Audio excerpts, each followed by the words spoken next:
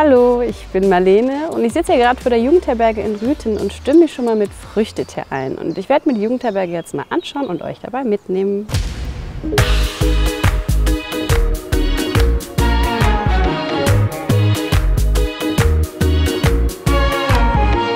Der Schwerpunkt im Haus ist das Thema Welt. Wir haben fünf Flure und haben jedem Flur einen Kontinent zugeteilt. Wir machen uns jetzt mal auf den Weg nach Amerika. Hauptschwerpunkt der Jugendherberge Rüthen sind übrigens Grundschulklassen. Hauptsächlich unter der Woche Grundschulen. Am Wochenende haben wir Musikvereine, ähm, auch mal Familien. Schwimmvereine sind mit dabei. Durch das Freibad bietet sich das an. Mit einem kleines Haus, 121 Betten auf 30 Zimmer. Hier geht's lang.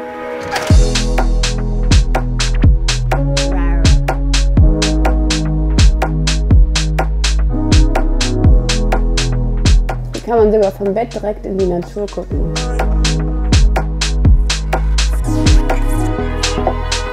Die Jugendherberge hat barrierefreie Zimmer und das ist eins davon.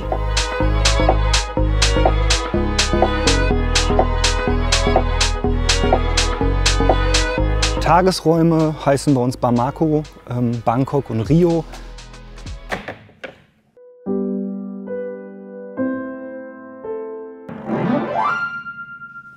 Wir sind jetzt hier in Sydney und ich habe gehört, hier kann man richtig gut abhängen.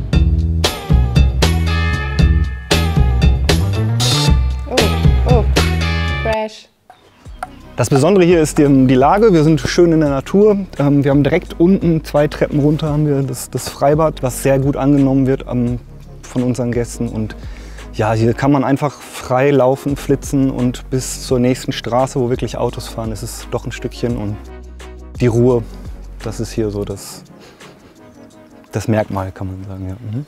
Ist auch ein richtig schöner Ort hier, um ein bisschen achtsam zu sein.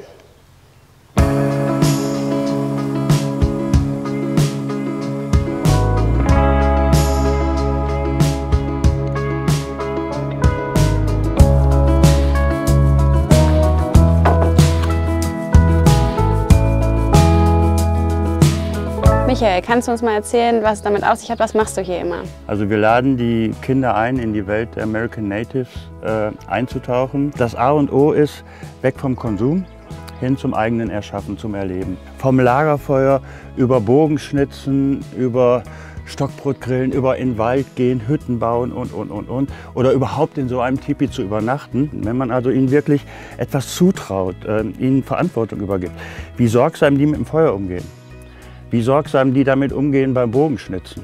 Das alleine ist schon ein Zeichen dafür, dass wenn man den Kindern Vertrauen gibt und ähm, sie auch wirklich da abholt, wo sie stehen, in diesem magischen Denken, in dem die Grundschulkinder ja in der Regel noch sind, äh, dann kommt da ganz was Tolles raus.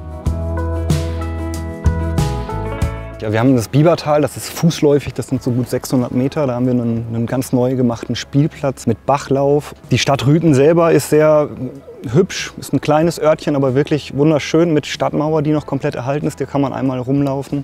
Viele Wanderwege kreuzen natürlich hier. Die Sauerland-Waldroute geht hier direkt einmal über den Platz. Also es gibt schon wirklich viel, was man hier erleben kann.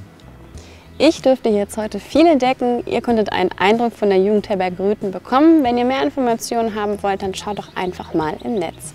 Und ich genieße jetzt noch ein bisschen die Natur.